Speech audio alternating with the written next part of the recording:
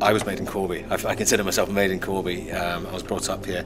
Um, my creative associate, who's going to be my co-director on this project, was also is also a Corby boy.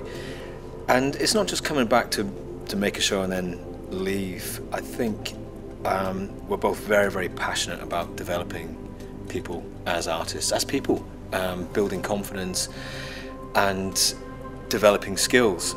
And I think it's important to come back to the place where you started and, and share what you've learned, but also show people there are other ways of working. There are ways to, to step up, to step out. Um, I think during this process, I want to we want to engage with the local community and hear their stories, see their skills, learn, and also teach.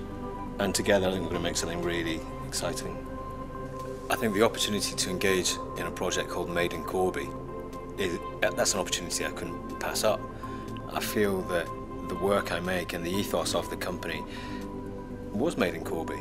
It's a fantastic opportunity to come back and, and share and uh, and help and to make a show that will be unique that will be unique to my experiences in Corby and to the people that we engage it will be about us